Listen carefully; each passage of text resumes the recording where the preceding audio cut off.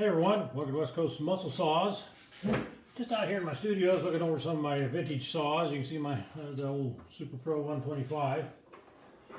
And I just got to thinking, you know, about the chainsaws and collecting. Not not so much talking about how to repair them. Of course, I've repaired a lot of saws, but how do you get into collecting chainsaws? I mean, there's a lot of guys out there. It's uh, getting turned into a big thing.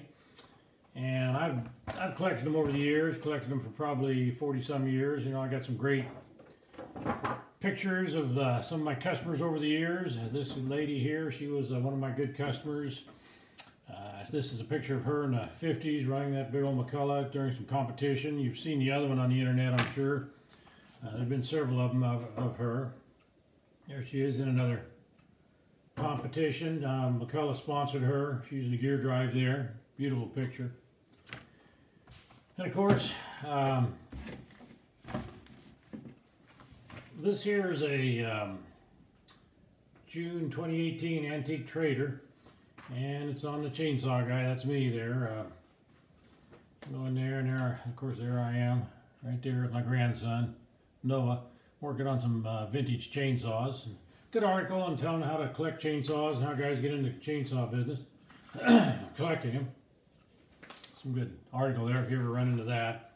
2018. I, uh, first chainsaw I ever got dealt with or knew anything about, my father was cutting firewood and he had this McCulloch, there's the owner's manual for it right there at 140. that was uh, what we did in the wintertime, cut firewood and cured it. And that's, we heated our house for years with it. And funny story about that saw, we didn't have a clue on a chainsaw what to do with it and we were down cutting some wood in a yard. There were some other guys around there and they were doing something with their saw. And so we stopped to see what they were doing. And we asked them you know what are you doing to that? And they said well we're sharpening the chain. Well we never knew you had to sharpen the chain so that's one reason my dad always he looked like he was running like a handsaw trying to get the thing to cut. Anyway uh, there's a, a great book out there get your hands on one of these, it's got some really great pictures of the different saws. It's really well put together. Uh, you can, if you ever round up a book like this, it'll help you on collecting chainsaws and and uh, tell you what's out there in the year they were built. I'm gonna, we're going to try to get hold of Quentin uh, just a minute here. Well, there's another great, some of my, my vintage stuff. It's uh, the Oregon uh, Mark Industries uh, when Kennedy was running for president. And of course those BPs, you remember those, I had those, they were super rare. Let's see if we can get hold of Quentin.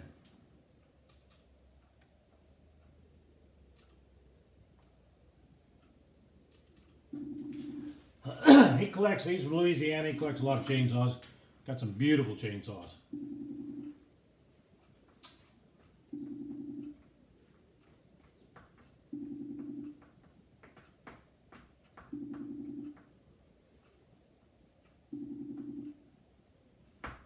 Well, thank you, Joshua.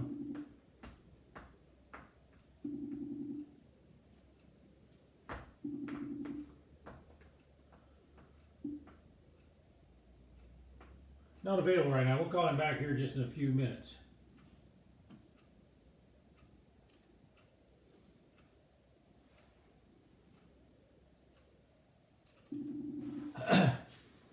Another, some great stuff. This is uh, from the 70s. You can buy all kinds of high performance stuff for your 101B engines.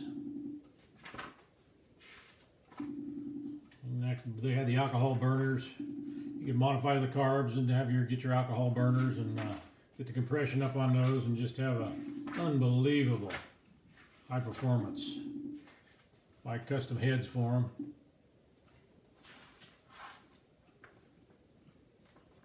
Even uh, Tecumseh, Wisconsin got into it. Even Wisconsin had their little engine for their go-karts.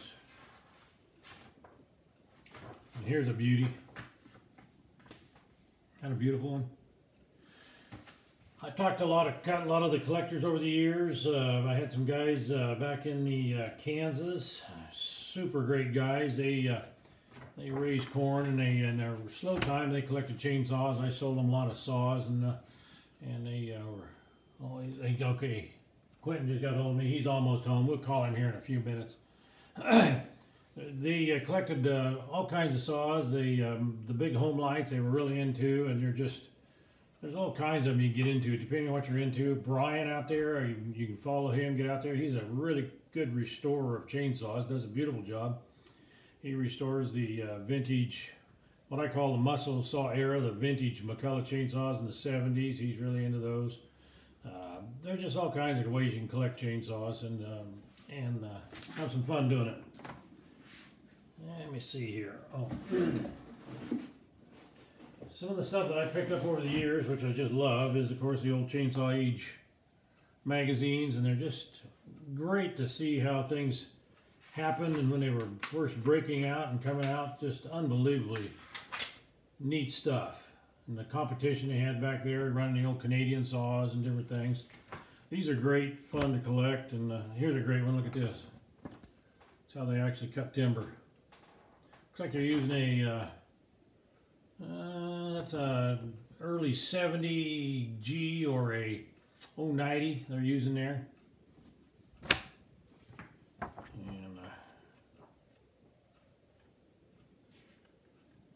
oh yeah, testing out the Canadian saws on the west coast. Great stuff. Let's just see if Quentin's made it back yet.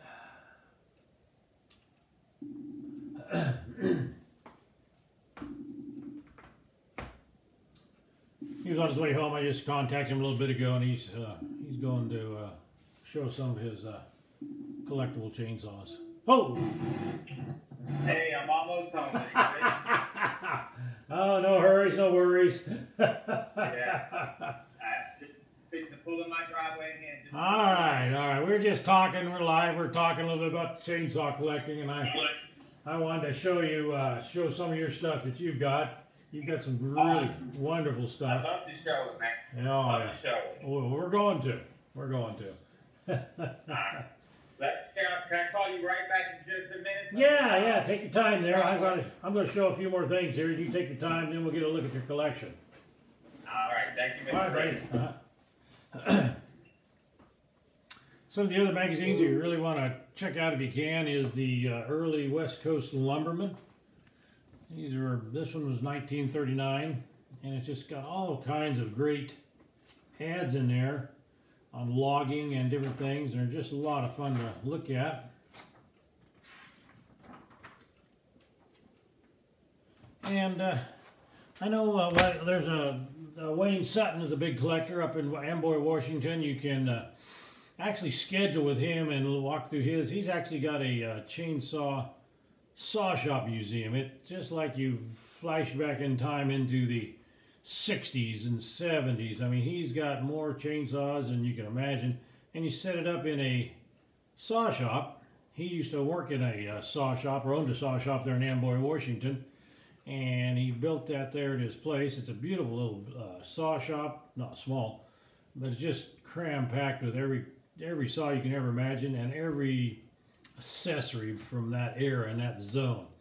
So if you're ever out in the uh, West Coast, Washington, uh, Oregon area, if you want to get a hold of him, uh, he he's uh, you can get a hold of him online, uh, Facebook probably, or get a hold of him. He's uh, still working for Stihl, and he bounces around a lot, but a really knowledgeable collector of all vintage chainsaws. So you want to make sure you try to get hold of him. There's another one. Great. I like the. You know, I wasn't a real fan of the partners at the time, but they've turned into a highly collectible chainsaw, especially that 100. It was actually sold. Uh, they sold that to McCulloch, branded it as a one. I think it was 1000. They call it Power Mac 1000, and. Uh, it, they're just really collectible anymore, and you can just find them. You need to go out and search around, look around in some of the logging communities or also go to the um, barn sales. Sometimes you'll stumble right into them. And uh, you can uh, try to pick up a chainsaw, get you one for your collection. Here's another one of these 1946. As you know, guys, I'm stalling for time here, so bear with me. anyway, there's a there's a good one. Mall Tool Company great ads in there. See what else we got here. All about the mills and the loggers and everything like that.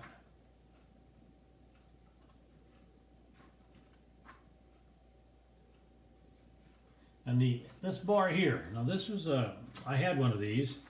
That's the long bar, and they drilled holes in it to lighten it up. Great idea, right? Well, you know what happened when you started cutting uh, into the logs and the sawdust plugged up into those holes? You could not get the bar out of the cut.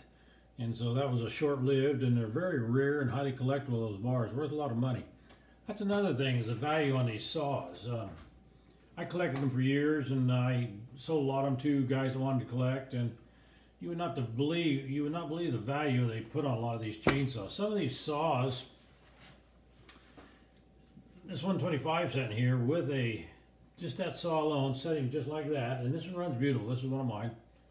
You know, I've been offered $2,500 for it, but I couldn't replace it for that. You'd have to, they're hard to come by anymore. And then if you were to go and put a kart engine in that, which was available, and it was done a lot back in the 70s, I did a lot of it, uh, you could uh, probably fetch five, six thousand dollars easy out of one, if not more. Some of them are just worth an absolute fortune. They were just high performance chainsaws. And back then we didn't realize it. You could buy this saw brand new for 250, 300 bucks. Buy a kart engine for another 300.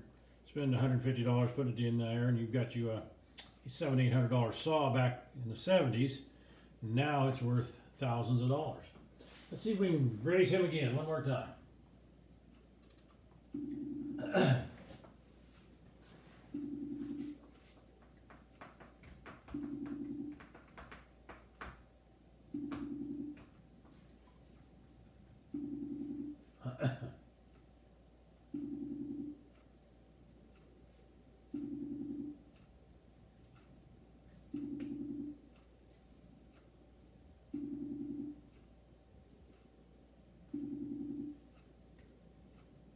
Yeah.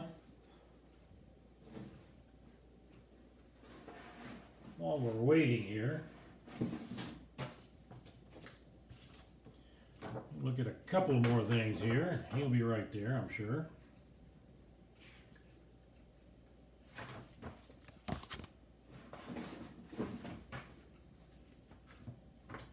It's more the, uh, I remember when, uh, reading and seeing about this, it was called a tree monkey. Not to be confused with any of the uh, monkey climbers or the, the ground, the uh, guys that do the tree climbing this day and age. Anyway, it was mechanical, mounted on the base of the tree. You see how it mounts there. And then it crawled up there and it cut the limbs off as it went up and uh, high maintenance. Uh, I'm sure it didn't last any time at all, but it was, uh, you know, something with the, everybody was trying something new with their chainsaw. And then the old, see here, the old Pioneer chainsaws, some vintage great ads there.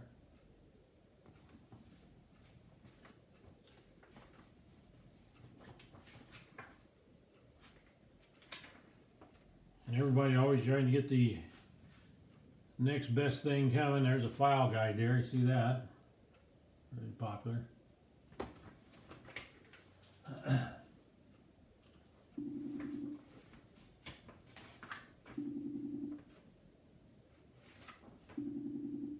There's a picture of the tree monkey going up there.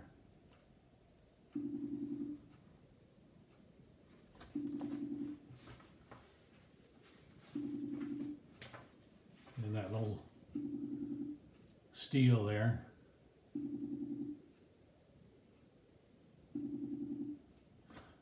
Well, we're gonna have to try Quentin here in a little bit.